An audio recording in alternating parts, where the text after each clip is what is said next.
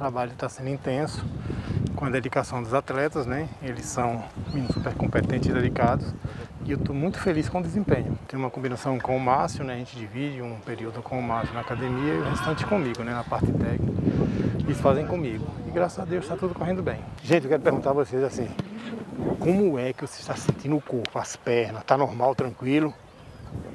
Tá tranquilo, não tá? Tá, Juan? Sem dor, sem cansaço, né? Pronto, aí você vai chegar, a gente quer chegar mais assim, ó, como se não tivesse feito nada. Começa aqui, ó.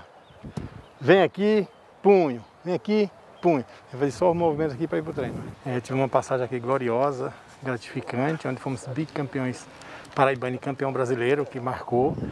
E é uma das histórias que eu carrego comigo para sempre, né? E quando recebemos o convite para voltar, ficamos muito felizes, até mesmo pela recepção que tivemos agora.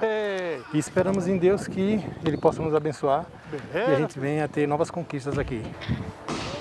Não precisa fazer muito rápido não, ele pode fazer só o de aquecimento mesmo, ritmo de aquecimento. Vai, lateral. Aí. Isso. Quatro. Isso.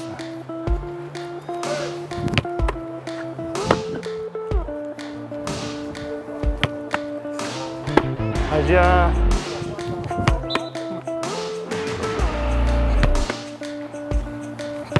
Quatro. Então nós estamos muito confiantes, graças a Deus estamos num ambiente que tá, estamos super felizes, esperando que Deus abençoe, né? Deus abençoando e tenho certeza que nós vamos fazer história aqui novamente.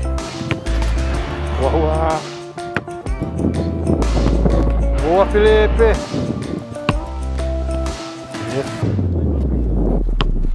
Boa!